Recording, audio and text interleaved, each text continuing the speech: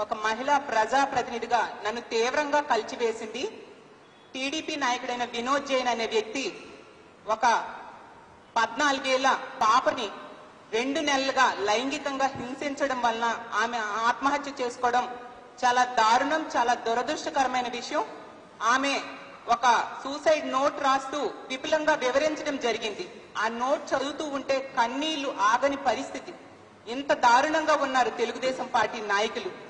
ఈ జగనన్న ప్రభుత్వంలో ఖచ్చితంగా అలాంటి వాళ్ళకి కఠినమైన శిక్షలు పడతాయని నేను భావిస్తున్నాను.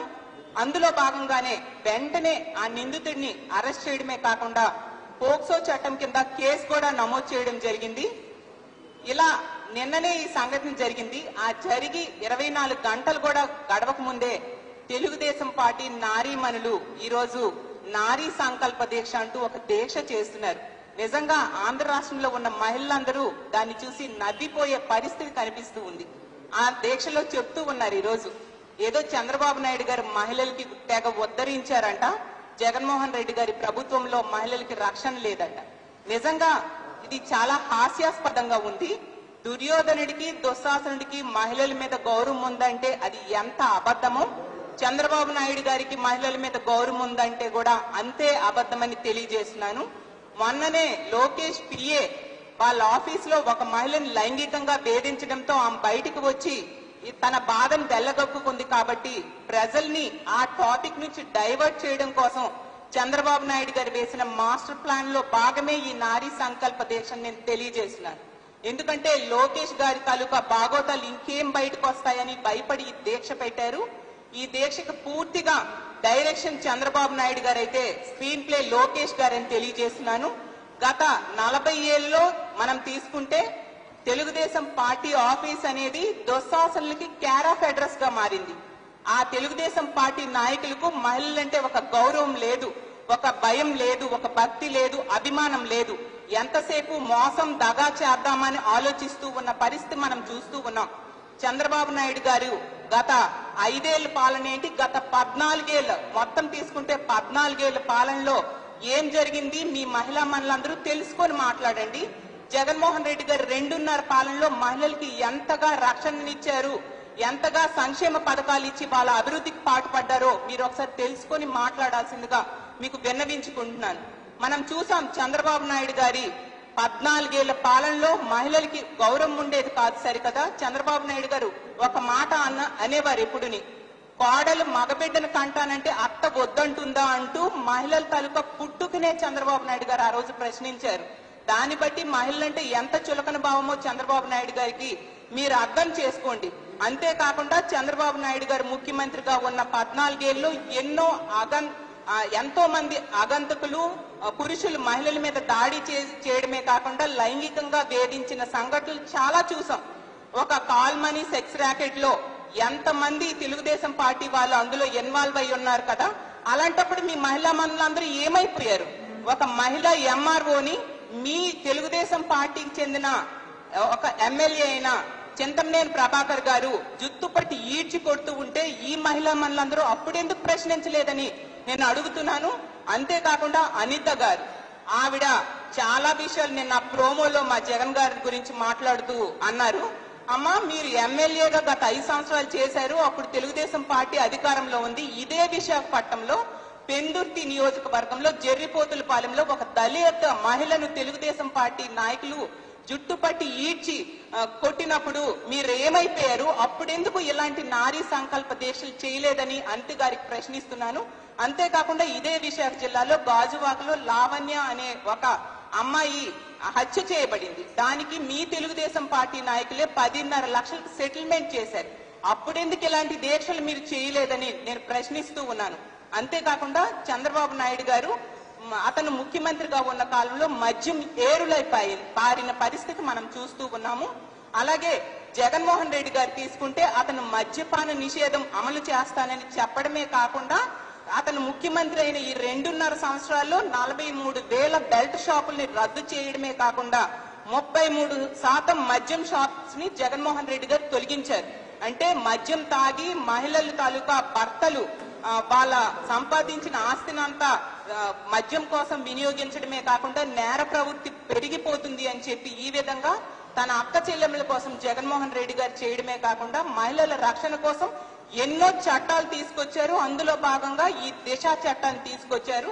అసలు నిజం చెప్పాలంటే జగన్మోహన్ రెడ్డి గారి పాలనలో ఆంధ్ర రాష్ట్రంలో ఉన్న మహిళలందరూ తన సొంత అన్నదమ్ముడు ముఖ్యమంత్రిగా ఉంటే ఎలాంటి భద్రతా భరోసాని ఫీల్ అవుతారు? అలాంటి భద్రత భద్రతా భరోసాని జగన్మోహన్ రెడ్డి గారు కల్పించారని చెప్పడానికి నేను నిజంగా ఒక మహిళగా చాలా గర్వంగా ఫీల్ అవుతున్నాను. నిజం చెప్పాలంటే మన దేశంలో ఎంతో మంది మహిళా ముఖ్యమంత్రులు ఎన్నో రాష్ట్రాలు పరిపాలించారు. ఆ ముఖ్యమంత్రులు మహిళా ముఖ్యమంత్రులు పరిపాలిస్తున్న రాష్ట్రాల్లో కూడా ఏర్పాటు చేయని చట్టాలు మహిళా రక్షణ చట్టాలని జగన్మోహన్ రెడ్డి గారు ఈ రోజు ఆంధ్ర రాష్ట్రంలో ఏర్పాటు చేశారని ఈ రోజు జగన్మోహన్ రెడ్డి గారి దగ్గర పనిచేస్తున్న ఒక మహిళా ప్రజాప్రతినిధిగా నేను చాలా ధైర్యంగా చెప్పగలుగుతున్నాను అందులో భాగంగా ఈ దిశా చట్టం.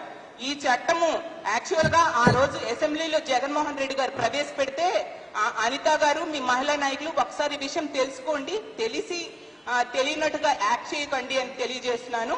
ఆ రోజు అసెంబ్లీలో జగన్మోహన్ రెడ్డి గారు ప్రవేశపెడితే మీ తెలుగుదేశం పార్టీ ఎమ్మెల్యేలు బయటికి వెళ్ళి ఆ పేపర్స్ చింపివేశారు. మరి అంత చిత్తశుద్ధి ఉంది మహిళా సమస్యల మీద మీ తెలుగుదేశం పార్టీ నాయకులకి. అంతేకాకుండా ఈ దిశ చట్టం అనేది ఇప్పుడు కేంద్రం వద్ద పెండింగ్లో ఉంది. మరి నిజంగా మీ తెలుగుదేశం పార్టీ నాయకులకి దీని మీద చిత్తశుద్ధి ఉంటే ఎందుకు పార్లమెంట్లో గాని బయట గాని ఈ దిశ చట్టం మీద మీరు ప్రశ్నించట్లేదు అని నేను అడుగుతున్నాను. అంతేకాకుండా ఈ దిశ చట్టము అనేది ఈ రాష్ట్రంలో గాని దేశంలో గాని ఎప్పుడు ఏ ముఖ్యమంత్రి కూడా ఇంతవరకు ప్రవేశపెట్టలేదు. అలాగే దేశానికే ఆదర్శంగా నిలిచింది. కేంద్రంలో పెండింగ్లో ఉన్నా కూడా జగన్మోహన్ రెడ్డి గారు అమలు చేయడానికి అన్ని కార్యాచరణలు ఈ రోజు పూరుకున్న పరిస్థితి మనం చూస్తూ ఉన్నాం. ఈ కేసులు తక్షణమే పరిష్కారం అవ్వాలని మహిళల మీద ఎవరైనా లైంగికంగా వేధించినా అత్యాచారాలు చేసినా కూడా వారం రోజుల్లో వాళ్ళ మీద ఛార్జీ ఛార్జ్ షీట్ వేస్తున్న ఏకైక ముఖ్యమంత్రి జగన్మోహన్ రెడ్డి అంతేకాకుండా జగన్మోహన్ రెడ్డి గారు చే- ఇంతగా మహిళల రక్షణ కోసం పాటుపడుతూ ఉంటే చంద్రబాబు నాయుడు గారు తన పద్నాలుగేళ్ళ పాలనలో ఇలా ఏ రోజైనా చేశారా? తెలుగుదేశం పార్టీ నాయకులారా మీరు ఒక్కసారి ప్రశ్నించండి మీ చంద్రబాబు నాయుడు గారికి. అలాగే ఈ దిశ చట్టం అమలు చేయడం కోసం కేసులు సత్వరమే పరిష్కారం అవడం కోసం పంతొమ్మిది పీపీల్ని అంటే పబ్లిక్ ప్రాసిక్యూటర్ని నియమించారు. ఎందుకంటే తొందరగా కేసులు నడిపి పరిష్కారం చేసి వాళ్ళకి నిందితులకి శిక్ష పడాలి అని చెప్పి. అంతేకాకుండా ప్రతి పద్దెనిమిది దిశ పోలీస్ స్టేషన్లు ఏర్పాటు చేసి ఒక డిఎస్పీ స్థాయి అధికారులని వాళ్ళకి దిశ పోలీస్ స్టేషన్లో అధికారులుగా నియమించడం జరిగింది. అంతేకాకుండా గ్రామ స్థాయిలో మహిళలకి రక్షణ ఇవ్వడం కోసం గ్రామ సచివాలయాలు వార్డు సచివ సచివాలయాల్లో కూడా ఒక మహిళా పోలీసుని ఏర్పాటు చేశారు జగన్మోహన్ రెడ్డి గారు. అంతేకాకుండా పోక్సో కోర్టులు పదింటిని అలాగే మహిళా కోర్టులని పన్నెండింటిని ఏర్పాటు చేయడానికి చర్యలు తీసుకుంటున్నారు మా జగనన్న. అంతగా మహిళా రక్షణ కోసం చిత్తశుద్ధితో ప్రయత్నిస్తూ ఉన్న వ్యక్తి జగన్మోహన్ రెడ్డి గారు అలాంటి వ్యక్తి మీద మాట్లాడడానికి మీకు నోరు ఎలా వస్తుంది? తెలుగుదేశం పార్టీ మహిళలరా అని నేను ప్రశ్నిస్తున్నాను. అంతేకాకుండా ఒత్తి రక్షణ కాకుండా జగన్మోహన్ రెడ్డి గారు వాళ్ళ ఆర్థిక స్వావలంబన కోసం వాళ్ళకి ఆర్థికంగా ఎదుగుదల కోసం ఎవరి మీద భర్త మీద కానీ తండ్రి మీద కానీ కొడుకు మీద కానీ ఆడ ఆడపిల్లలు ఆధారపడకూడదు అని ఆలోచించి జగన్మోహన్ రెడ్డి గారు ఎన్నో సంక్షేమ పథకాలు ప్రవేశపెట్టడమే కాకుండా ప్రవేశపెట్టిన ప్రతి సంక్షేమ పథకం కూడా మహిళల పేరుతో పెట్టారు. ఒక అమ్మబడి తీసుకుందాం. అది మహిళల పేరుతో ఇస్తున్నారు. అలాగే వైఎస్ఆర్ ఆసరా. ఆ రోజు చంద్రబాబు నాయుడు గారు మీ అనిత గారు మీ చంద్రబాబు నాయుడు గారు ముఖ్యమంత్రిగా ఉన్నప్పుడు డ్వాక్రా మహిళలకి రుణమాఫీ చేస్తానని చెప్పి ఎగ్గొట్టారు. ఐదు సంవత్సరాల్లో అతను రుణమాఫీ చేయలేదు. చేయకపోయినా జగన్మోహన్ రెడ్డి గారు ఈ వైఎస్ఆర్ ఆసరా అని చెప్పి వాళ్ళకి ఎంత రుణం కట్టాలో దాన్ని మహిళల ఖాతాల్లో వేస్తూ ఉన్నారు. అలాగే వైఎస్ఆర్ చేయూత అని చెప్పి BC SC ST minority minor మహిళల కోసం ఆ పథకాన్ని ప్రవేశపెట్టి నలభై ఐదు సంవత్సరాల నుంచి అరవై సంవత్సరాలు ఉన్న మహిళలకి ఆర్థిక స్వావలంబన కోసం ఆ పథకాన్ని ప్రవేశపెట్టడమే కాకుండా మనం చూసాం కాపు నేస్తామని ఈబీసీ నేస్తామని అంటే తన ఎన్నికల మేనిఫెస్టోలో చెయ్యని చెప్పని అంశాలను కూడా జగన్మోహన్ రెడ్డి గారు ఈ రోజు అతను మహిళల తాలూకా కష్టాలు తెలుసుకొని అమలు చేస్తూ ఉన్న పరిస్థితి. అంతగా మహిళా పక్షపాతి అయిన ముఖ్యమంత్రిని ఈ రాష్ట్రంలో గాని దేశంలో గాని మనం ఎప్పుడు చూడము. జగన్మోహన్ రెడ్డి గారు ఒక సొంత అన్నలాగా కాకుండా ఒక తండ్రిలా కూడా సున్నితమైన విషయాలైన శానిటరీ నాప్కిన్స్ కూడా తన ఆడబిడ్డలకి తన కూతుర్లకి ఇద్దాము అన్న ఉద్దేశంతో ఆంధ్ర రాష్ట్రంలో ఉన్న చదువుకుంటున్న ఆడపిల్లలకి అరేంజ్ చేస్తున్నారంటే అతను ఎంతగా ఆంధ్ర రాష్ట్రంలో ఉన్న మహిళల కోసం ఆలోచిస్తున్నారో మీరు తెలుసుకొని మాట్లాడండి నేను తెలియజేస్తున్నాను. అంతేకాకుండా ఎన్నో సందర్భాల్లో మనం చూసాం చంద్రబాబు నాయుడు గారు ఏ విధంగా మహిళలకి అవమానించారు ఏ విధంగా రక్షణ లేదు చంద్రబాబు నాయుడు గారి ప్రభుత్వంలో అలాగే జగన్మోహన్ రెడ్డి గారి ప్రభుత్వంలో ఎంతగా మహిళల రక్షణ కోసం పాటుపడ్డారో మీకు నేను కొన్ని కొన్ని పాయింట్స్ కూడా చెప్తాను.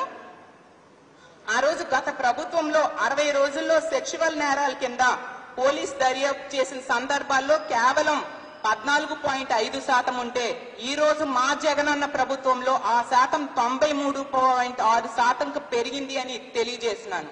అలాగే తెలుగుదేశం పార్టీ మహిళా మనులు ఈ విషయాలన్నీ చక్కగా తెలుసుకొని రేపొద్దున్న చంద్రబాబు నాయుడు గారిని మీ మాజీ ముఖ్యమంత్రి గారైన చంద్రబాబు నాయుడు గారిని అడగండి.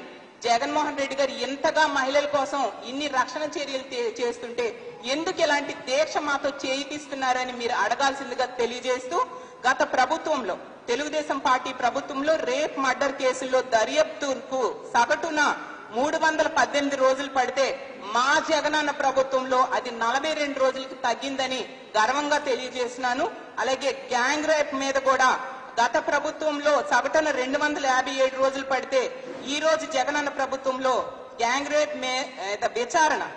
గత ప్రభుత్వంలో రెండు వందల యాభై యాభై ఏడు రోజులు పడితే ఈ రోజు మా జగనన్న ప్రభుత్వంలో ఈ విచారణ కేవలం నలభై రెండు రోజుల్లోనే విచారణ పూర్తి చేసే పరిస్థితి మనం చూస్తూ ఉన్నాము అలాగే పోక్సో చట్టం ప్రకారం దర్యాప్తునకు గత ప్రభుత్వంలో సగటున నూట ఐదు రోజులు పడితే మా జగనన్న ప్రభుత్వంలో అది నలభై ఒక్క రోజులకు తగ్గింది. అలాగే రేప్ కేసుల మీద విచారణ గత ప్రభుత్వంలో సగటున రెండు వందల అరవై ఒక్క రోజులు పడితే మా జగనన్న ప్రభుత్వంలో అది నలభై ఏడు రోజులకు తగ్గింది.